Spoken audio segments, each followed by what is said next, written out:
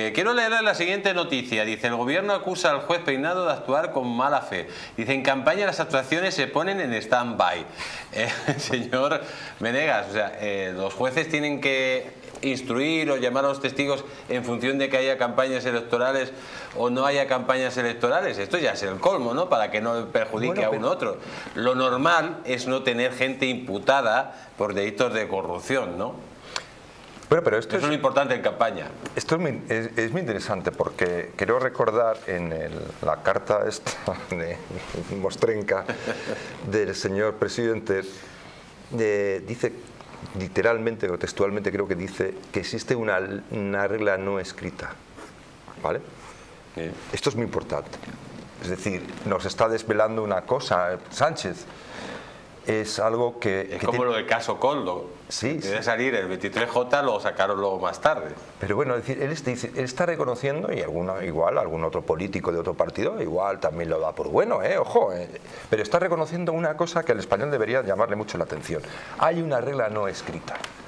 Es decir, España es un país en el que la política y los políticos, y el número uno, que es la bestia perfecta ya que ha parido la montaña, que es Pedro Sánchez, se han acostumbrado a manejar el país, el Estado, la política, desde reglas informales, es decir, saltándose constantemente las reglas formales, las instituciones, los procedimientos. Por eso, Pedro Sánchez, que es un monstruo, es una criatura que ha parido el llamado régimen de 78, lo ha parido, es decir, sin querer, ¿no? la montaña ha parido un ratón o una rata, no lo sabemos, y este tipo... Se llama engendro, ¿no? Un engendro, un, ser, un ser político, un ser político, es un, ser, es, una, es un monstruo político que nos está diciendo a los españoles ni justicia, ni jueces, ni la equidad, el principio de equidad, ni instituciones, ni parlamento.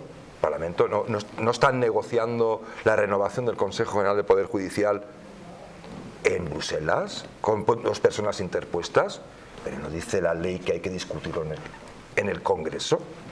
Es decir, informal. Es decir, eh, lo que está demostrando Sánchez es que España no funciona desde hace bastante tiempo y que él ha venido a rematarla, porque aquí las, leyes es raro que rijan cuando se trata de los intereses de los políticos que ellos van a intentar que no rijan. Ahora con la ley de amnistía han conseguido, digamos, el, hito de, crear directamente una ley para la impunidad.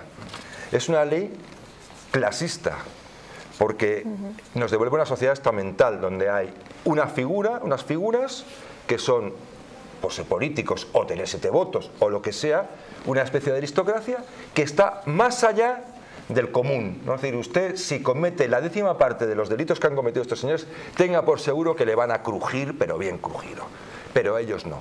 Y Sánchez dice en la carta esa, hay una regla, seguramente hay esa regla no escrita que entre, intentan, unos y otros han intentado que los escandalitos no les salten cuando hay, se están jugando el botín. Entonces esto no se puede consentir. Pero lo que hay que empezar es acostumbrar a lo contrario. La justicia tiene su tiempo y la justicia marca los tiempos. No son los políticos los que marcan los tiempos de la justicia y no son los políticos los que hacen, digo, los legisladores sí, pero no son los políticos los que convierten las leyes a lo que les conviene. Entonces yo creo que, esto, eh, a mí me ha interesado mucho esa explicación que daba este personaje porque viniendo de él es verdaderamente una joya. ¿eh?